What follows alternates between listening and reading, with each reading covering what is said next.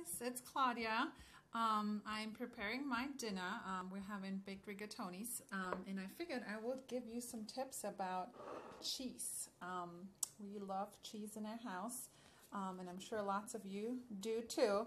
So, um, just a couple tips about shredding your own cheese, and I'm sure some of you who've been to one of my parties know why you should always shred your own cheese, right? So I'm going to leave this open here for a little bit and see if anyone jumps on and wants to um, maybe comment on why you should always shred your own cheese. So as you're coming on, um, I'll keep asking that question until I'm done telling you all about cheese. Um, if you don't know yet, I'm Italian. We love cheese. So I'll give you some tips about cheese. So I'm going to turn around my camera real quick. So um, we love Parmesan cheese, and I always recommend shredding your own. Um, so you can buy a block at the store, and um, this I got this at Trader Joe's. So this is actually the real, real Parmesan cheese. Grana Padano is a real Parmesan cheese, and the way you know it is that it's got um, the name like engraved in the cheese. Okay, so yes, this is not cheap, right? Four bucks for a little piece like that, but I can show you um, how much cheese you will get from one of these tiny little cubes you actually shred yourself. So I already pre-shredded some right here, but I'll shred some for you guys.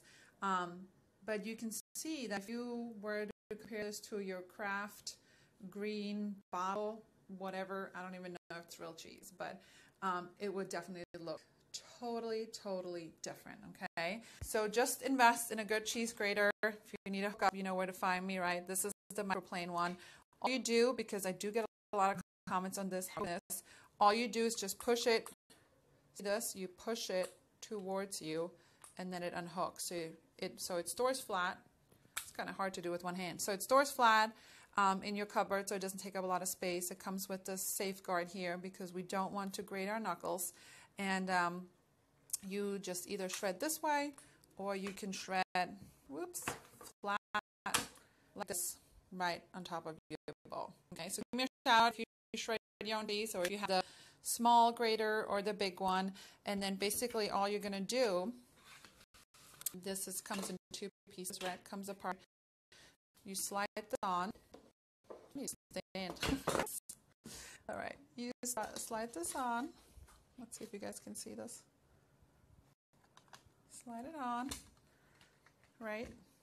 Put the little cube, look at this. I have a bowl here so we can measure how much we get. So it's one little piece, right? Fits right in here. Just stuff it in there. You put the cover on it. Again, you don't have to use a cover, but don't call me that you grated your knuckles off. So we have some people joining us. So if you know why you should grate your own cheese, guys, comment below. We'll see what the answers are. And then um, I'm going to grate this real quick and let's see how much Parmesan cheese we get from one little cube, right? So if you grade your own cheese, give me a shout out. Tell me why you should always grade your own and not buy the pre-shredded cheese.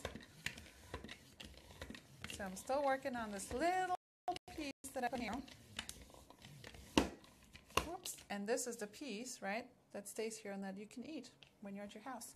So you'll see this was one little piece of cheese. It was about this size. Oops, this size right here. We're going to put it in a bowl so we can measure it.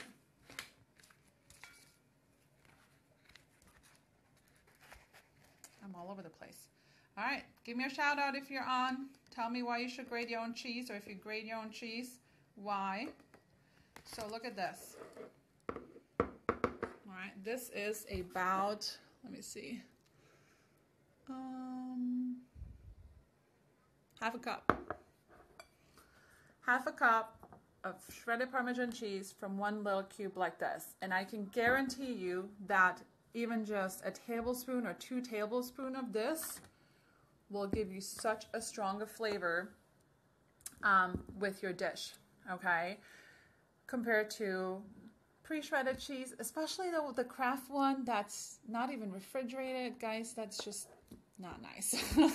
so if I can help you and you grade your own Parmesan cheese, and if you tell me that, you know, Claudia, we don't use a lot, I'm going to buy this, grab a piece, and then it starts molding, here's what you do. You take this, cut it into little chunks, like this one, right? Put it in a Ziploc bag, freeze it back, freeze it. Okay, and as you start cooking, as you're boiling your pasta, whatever you're doing, starting your recipe, just take it out, let it sit at room temperature for 10 minutes, and as long as you have a sharp grater, you can then grate it. So that way, if you freeze your Parmesan cheese, it's not going to go moldy. Okay, so give me a shout out if you have one of our graters, if you love them, um, or if you grate your own cheese, and tell me why you should grate your own cheese. What's wrong with pre shredded cheese? So think about that because if I put this in a bag right now, all this yummy Parmesan cheese. My kids love to just eat it. Um, if I put this in a bag, it'll clump together, right? So think about why it doesn't do that in your um, with pre-shredded cheese. Why does that not clump together? But when you shred your own, it does, right? So Erin says no wood in fresh cheese.